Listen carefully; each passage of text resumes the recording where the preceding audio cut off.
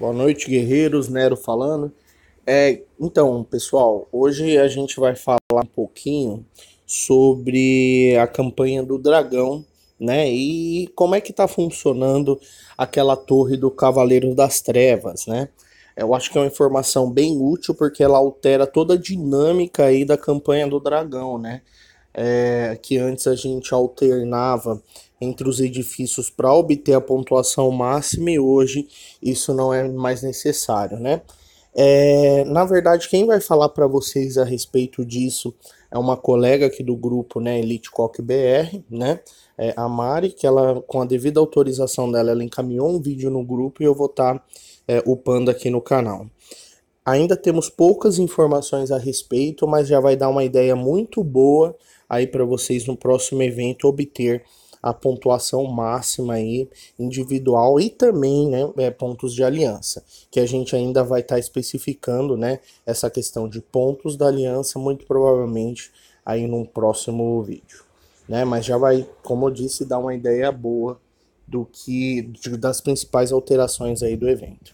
Beleza? Então fica aí com o vídeo dela e só para alertar vocês, a gente vai ter aí no próximo vídeo, né? Eu vou estar tá fazendo isso agora mesmo. E o pano daqui uns dois ou três dias no canal.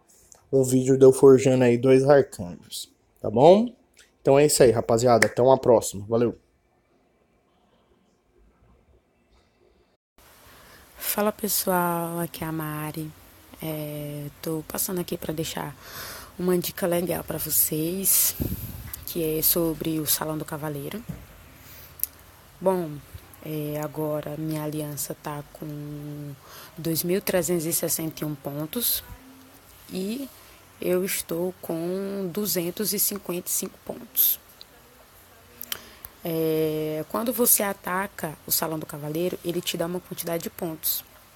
É, tive atacando aqui, obtive 5 pontos nesse último ataque. Geralmente, eu não, eu não sei qual é o critério que leva para dar essa quantidade de pontos. Se é estatística, se é o tamanho da marcha. Não sei. Sei que eu tive observando um castelo 30 atacou o Salão do Cavaleiro e ele obteve um ponto. Eu ataquei, todas, as, as duas vezes que eu ataquei, eu obtive cinco pontos. Com a mesma marcha, com herói dragão, obtive cinco pontos. Eu realmente não sei o critério. Mas o interessante é que ele dá essa, essa, essa pontuaçãozinha. Revisando aqui, estou com 255 pontos. E vamos esperar bater aqui para ver o quanto vai aumentar. Então, bateu aqui, vamos ver quantos pontos ficou. 260 pontos, ou seja, ganhei 5 pontos aqui no salão do cavalo. Ah, que bug, obtive 5 pontos. Muito bom.